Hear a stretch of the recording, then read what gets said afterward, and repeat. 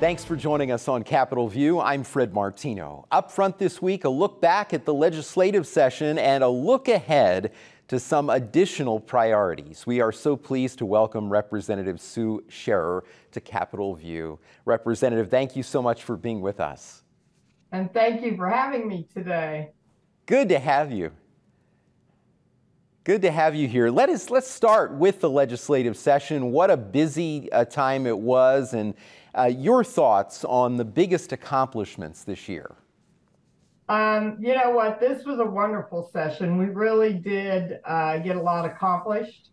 There have been years that it was not so good. Uh, you know, I was here when we went maybe three years without a budget. That was horrific. Um, but some really great accomplishments that I think came out of this year having been a teacher for 35 years in the public schools, education to me is a top priority, obviously, but it's not just all about education. Education ripples into the economy and jobs and people working and raising families and being educated. So, all those things being said, this was really a banner year for education we really um, put our money where our mouth is this time and put money in from cradle to college. What that means is a huge Smart Start program, which is for children in preschool.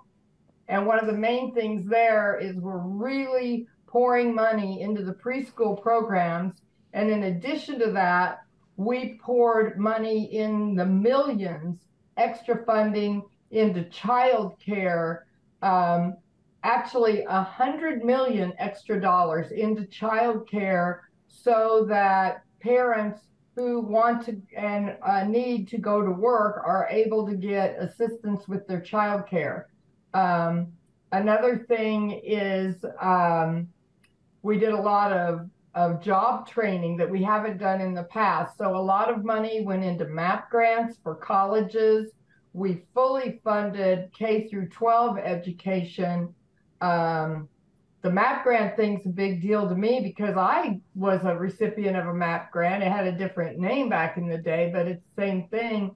And, um, you know, the state has more than got their money's worth out of that in the money that people like I have paid in taxes on the back end from that. So I'm a firm believer in that. Uh, my heart was broken when we quit funding our universities and MAP grants. So we are really upping the game, trying to get people to go to college at state universities. And then, you know, the the records show that then they come back, they live here, they stay here, they work here, they pay taxes here, and it grows our economy.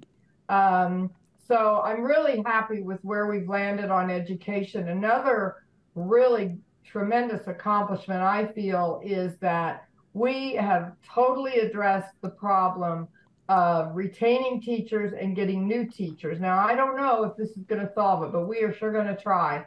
For the next three years, we are giving schools that are in hard hit districts that don't have teachers in classrooms. We have funded that to the tune of, I think, $40 million for the state uh, I know in my district, uh, combined, it's well over a million dollars for the Springfield and Decatur Public Schools, which are the two school districts I represent, and um, Harristown as well in there. But anyway, um, they have this money and they can choose to spend it however they see fit. So for once, the state isn't getting in there and telling you what to do as a local school district. We're saying, you know your district, you come up with whatever the people need to come there and teach. So it can be, they can give them bonuses, they can give them signing bonuses, they can pay for their housing, they can pay moving expenses, they can pay childcare.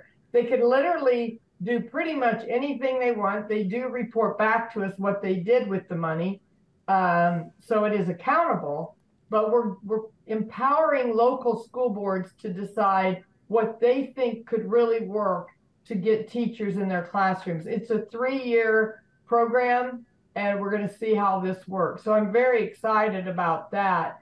Um, another huge thing is that our bond rating has gone up eight steps just in this year. We are now an A rated state. And back in the years when we had didn't have a budget, we were one step above junk bond. That's tremendous. Okay. So a lot of a lot of important things, and we will uh, we'll talk more about education uh, specifically in the half hour ahead. I want to move on now to some of the most important issues that you're still working on for the next year. Okay, I've got uh, right now. I have two really huge ones. Well, three really. So uh, one of my main things, and I don't know if you um, got the press release, it just actually went out last night. And I did. about the insurance. Yes. Uh, so let me talk about the other two quick because they're quicker to talk about. So one is I uh, have put in a bill uh, to help Decatur Public Schools. They had uh, two of their buildings got condemned, and the students had nowhere to go. So we need to change the law in what we do when there is a crisis closure because it's not spelled out real well. And so uh, that's one of my bills that I hope to get passed during veto is to help with Decatur Public School situation and have it work for the current school year to help that these kids don't have to go to school two weeks late in the summer uh, next, you know, next June. Um, another one that I'm still working on is trying to get the funding for free breakfast and lunch for our students. It's just heartbreaking um, for kids to come to school, and you know that might be the only thing they eat in a whole day's time, and yet we test them to death and publish those scores in the paper, and nobody knows what their lives are like at home. Um, but then my third and probably biggest to some people, you know, I always said, whatever the bill is, if it affects you directly, that's the most important thing to you. It may not be important to others. But if you're struggling with your insurance companies right now and uh, Ghost Networks, I have dusted off the bill that I ran, uh, I think it was two years ago. It's an over 100 page bill, colossal, written by the Department of Insurance and the governor's office and we're going to try again to pass that. And we need to figure out a way to hold our large health insurance companies accountable. I get calls constantly. I, I don't have a doctor. Uh, you know, they say I have a doctor. They list all these doctors. I call them, they're like in Chicago or they're not taking new patients. Well, that's not really allowed to be on that list. So we call those things ghost networks, and we've got to do a better job of holding these companies accountable. So this is going to be the biggest bill that I'll be carrying. It would be marvelous if I could get that passed in veto session. Okay, let's talk about veto session. That's coming up this fall. Uh, what are the major issues in addition to the one that you just mentioned? Well, I feel like the the main thing with veto this time, I hope, are going to be my two bills. I really, you know, want to get this insurance bill passed, and I really want to get this uh, emergency school closure bill passed. To me, those are both very timely, and they need to be going right to the top of the of the list for veto session. Veto okay. session is kind of got two purposes. One is uh, for things like this that come up that are like emergencies that need to be taken care of before regular session. And the other one is uh, if the governor did veto anything from the spring session to override the vetoes. Yeah. As you mentioned, uh, Representative, you were a public school teacher for more than 30 years. You've already talked about a number of education issues uh, where you've had success, others where you're, you're still working to get things passed. We've talked about a number of priorities. Uh, I want to move to one that you haven't talked about yet, and that is the opportunity for dual credit, earning college credit while you're still in high school. What an amazing uh, opportunity this is. Tell me uh, your thoughts on these programs, and would you like to see these expand? Oh, I have a lot of thoughts on these. Um, I'm going to go back to when I entered college, and there were um, my peers came, and there they walked in the door with all these credits called CLEP credits. In Decatur, we knew nothing even about CLEP credits. So, you know, my friends and I from Decatur walk in with zero credits. They're walking in with 8, 10, 12 credits before the their college even begins. And some of those were some of their hardest classes. So, you know, it really was an unfair start right from the beginning. But I will say this I learned right out of the gate that, you know, things aren't fair and equal. And that if you're from the suburbs, you had a much greater advantage before you even walked in the door. So now I love the idea of dual credits. My own children all were able to get dual credits. And it's interesting because, you know, I have four kids, and from the oldest down to the youngest, my first child had, I think, six hours of dual credit, maybe even only three. And by the that was my oldest daughter. By the time I got to my youngest child, uh, Tyler, he was able to get oh gee, he either had 12 or 15 credits uh, before he even went to UIS. So um, there's so many advantages to that. A, the money that you don't have to pay for all those classes. We know how expensive college is. B, you get right out of the gate. Um, you know, you know, here's one of the, I think, most important things. You know you can do it. I remember being scared when I went to college. I was afraid that I wouldn't be smart enough to be successful. And that was because no one in my family had ever gone to college. How would I know if I could do it or not? You know, and I ended up being on the dean's list, but that was a very real fear for me. Now, when my kids went to school, they didn't have that fear because I could tell them my experience, but not everybody gets to have that. So now if you have dual credit, you can go and you can be like, I know I can do it. I have already gotten an A or a B in all these different classes. So now I know that I can handle it. Um, and not only that, but when you go to register for classes, you don't go in as a zero freshman, zero credit. You go in ahead of all the freshmen with zero credit so it's a much greater chance that you'll get the classes you need at a decent time, and you're not paying extra money taking classes you don't even need just so that you're a full time student. We'll have more of my interview with Representative Sue Scherer next week, and we want to hear from you. Send us your letters. The email address is contact at wsiu.org. Analysis now, and we welcome Jeremy Gorner of the Chicago Tribune and Charlie Wheeler, Emeritus Director of the Public Affairs Reporting Program at the University of Illinois Springfield. Thank you both for being with us today. Well, thank you for having us. Thank you. Good to have you both. Jeremy, I see that a gun industry group is challenging the new firearms marketing restrictions in Illinois. Tell us about this. Yes. Um, so uh, the National Shooting Sports Foundation, they're a gun trade organization, obviously. Um, and, uh, you know, they filed this lawsuit two days after uh, Governor Pritzker um, signed it into law. Basically, what this law is supposed to do is that it allows anyone to sue uh, gun manufacturers or gun dealers if um, you know the, you know for uh, shoddy marketing ploys. So basically. Um, if it's found that these gun dealers or manufacturers, anyone in the firearm industry is mark are marketing to children or um, marketing in such a way which make it easier for um, illegal sales to um, occur, such as straw purchasing.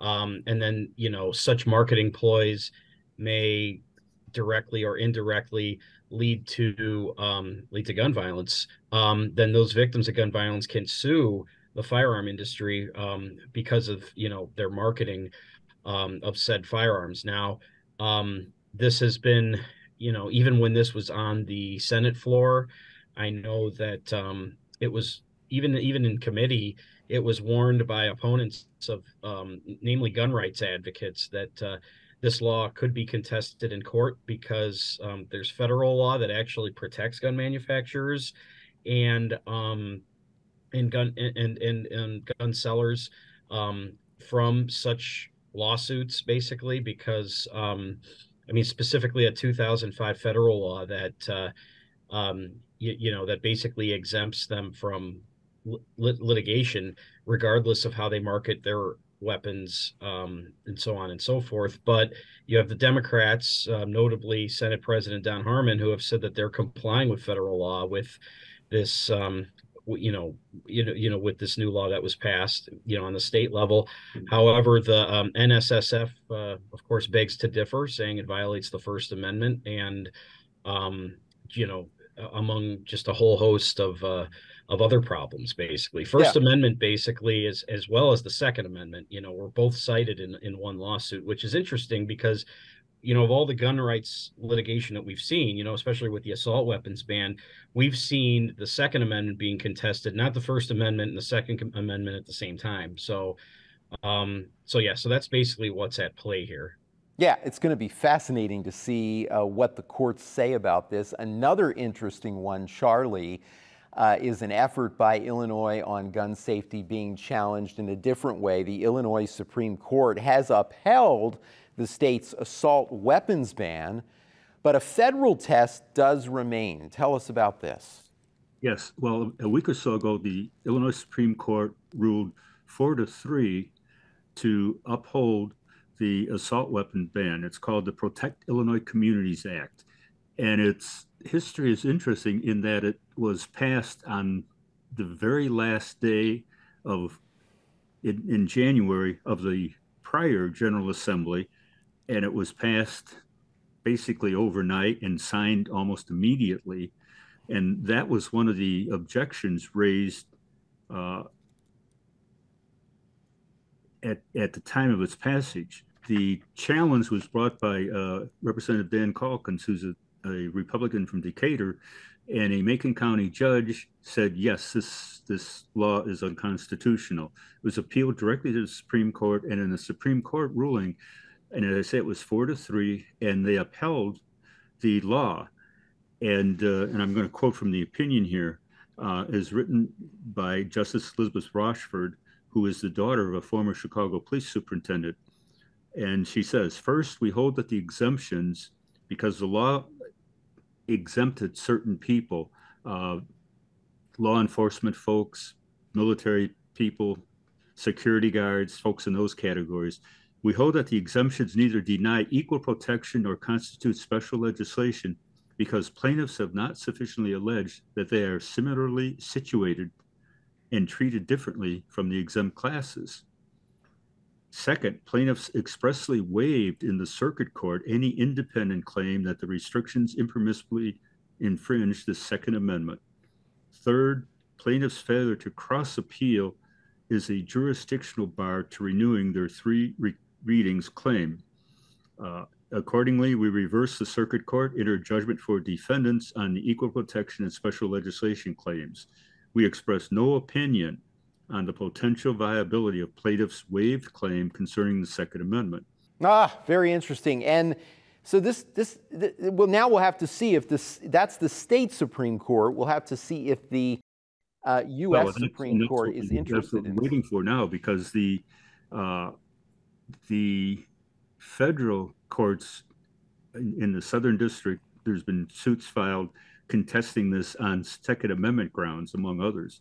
Mm-hmm. And on June 29th, a three judge panel of the Seventh U.S. Circuit Court of Appeals heard oral arguments in six consolidated lawsuits challenging the ban on grounds it violated the Second Amendment. The court has not issued a ruling yet, but the the gun advocates say, well, it's pretty clear that when the ruling comes down, uh, this law is going to get tossed. And mm. I would say, obviously, whatever the the circuit court of appeals says it will be appealed to the U.S. Supreme Court, and that's where the final resolution will come. Yeah, that's what we're going to all be be watching very carefully, and of course, not only in Illinois but all all across the country, because certainly uh, with with a lack of federal uh, action in in most cases, uh, states are taking action. So that's really where.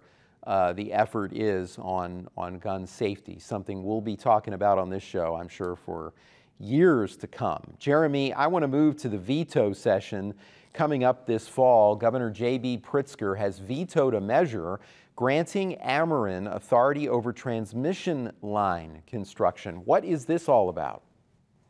So basically, um, you know, so first of all, it's pretty rare. It's been up till um, this past spring session. It's pretty rare for the governor to um, uh, veto any bills. I think the and, and Charlie, please correct me if I'm wrong. I mean, the last one I remember prior to this session was, um, I believe it was uh, you know early 2022 or perhaps around that time he vetoed a bill related to um, you know the school vaccine mandates. You know, so it's it's first of all just to paint a picture, it's, it's pretty rare for the governor to do this in general, but in this case.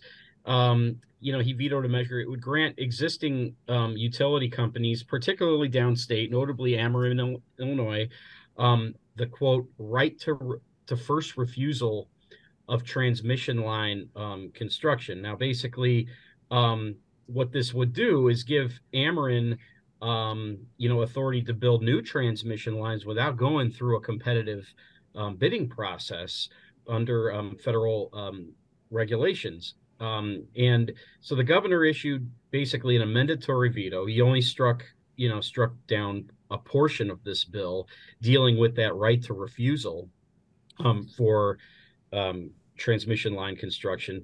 Um, and he left the rest of the bill, you know, of the bill untouched, basically. So um, this is going to be something that's, I think, you know, going to be pretty contested. I know that um, Larry Walsh, he's a uh, you, you, know he was the chief sponsor in the House. Um, you, you, know, you know, pushing, trying to push this bill through the House. It um, passed with, I believe, three votes to spare in the House.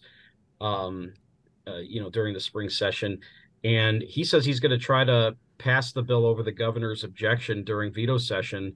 Um, anyway, um, he stressed that the bill he sees as it as being beneficial to laborers. In his view, the bid process opens up um, transmission line construction okay. for out of state companies. Um, All right. Well, we only have a few minutes left, and there is another veto I want Charlie to talk about where, again, just like that veto, we may see action on this in the veto session. Governor Pritzker vetoed a bill that would have allowed new nuclear plant construction. Charlie, give us an update on that. Yeah, well, the this was legislation that came through this this past spring session, and it basically removes a provision in law that was put in, I believe, in 1987, that says that there can be no nuclear construction in Illinois until the federal government figures out what to do with the waste from uh, nuclear power generation, the spent fuel rods, and there's something like, Lord, like 11,000 tons of them up at the closed plant in Zion, and the stuff has a half life, some of it of 24,000 years. And so the the idea is that they are developing a new kind of reactor, a small modular reactor, they're called, instead of these big, huge, massive structures that you may be seeing. And the idea is to encourage these. And so we, lifted the ban, and Pritzker seemed supportive back in the spring, and he said, Well, the devil's in the details. Well, he looked at the details of this particular bill, and he says, and this is from his veto message there appears to be real potential for small modular reactors, which in the future could safely provide energy for energy consuming businesses in area where their needs cannot currently be met. However, he says, this bill provides no regulatory protections for the health and safety of Illinois residents who would live and work around these new reactors. And the vague definitions in the bill, including the overly broad definition of advanced reactors, will open the door to proliferation of large-scale nuclear reactors that are so costly to build that they will cause exorbitant ratepayer-funded bailouts. and mm. so he vetoed it because he he didn't like it. Now the the margins by which it's passed in the General Assembly were sufficient to uh, have an override, but the sponsor of the of the bill, Senator Sue Rezin, a, a Morris Republican, told a local radio station that she's heard that the as was indicated that that the House is not going to go along with it. She's filed the paperwork, but she doesn't think it's going to go anywhere. Meanwhile, the governor is talking about, well, maybe we can get together and do something more along the lines what I was talking about, these small modular ones rather than the huge ones and put in proper guardrails. Yeah, that's going to be really interesting to see. That seems to be uh, something that there is an, an, interest in some kind of a negotiated settlement on that. So we'll be watching it during the veto session. As usual, uh, Jack Tichenor will be here with uh, a variety of different programs. Uh, covering the veto session. Well, my guests today were Jeremy Gorner of the Chicago Tribune and Charlie Wheeler, Emeritus Director of the Public Affairs Reporting Program at the University of Illinois Springfield. Gentlemen, thank you so much for being here. My pleasure. All right, and thank you at home as well. For all of us at WSIU, I'm Fred Martino. Have a great week.